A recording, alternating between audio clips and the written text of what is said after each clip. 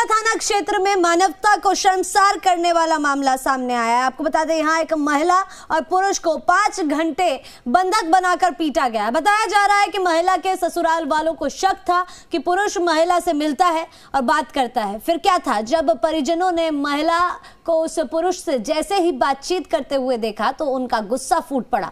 दोनों को दो अलग अलग पेड़ों से बांधकर करीब छह घंटे तक उनकी जमकर पिटाई की गई। और मामले की जानकारी लगते ही गिंगला थाना पुलिस मौके पर पहुँची और दोनों बंधकों से, बंधकों को मुक्त कराया। फ़िलहाल थाना अधिकारी ने मामला दर्ज करते हुए आरोपियों को हिरासत में ले लिया है।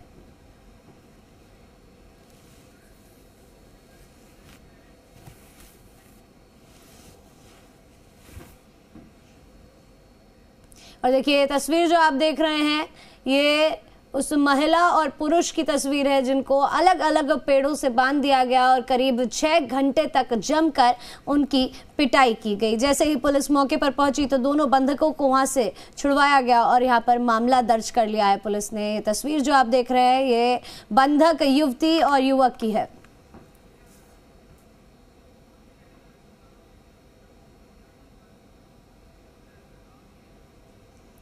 और चलिए आगे बढ़ते हैं। भीलवाड़ा के प्रतापनगर थाना इलाके में बेखौफ बदमाशों ने कुंभा सर्कल पर एक कार सवार युवक से लूट का प्रयास किया। कार के पीछे से तीन बाइक सवार बदमाश आए और कार को रुकवा कर कांच तोड़ दिया। आसपास से गुजर रहे लोगों ने पुलिस को सूचना दी और भीड़ को बढ़ता देख बदमाश भी बाइक लेकर भाग गए। मौके पर पहुँची प्रतापनगर पुलिस ने पीड़ित से घटना की जानकारी ली और पीड़ित ने प्रतापनगर थाने में रिपोर्ट भी दर्ज करवाई है।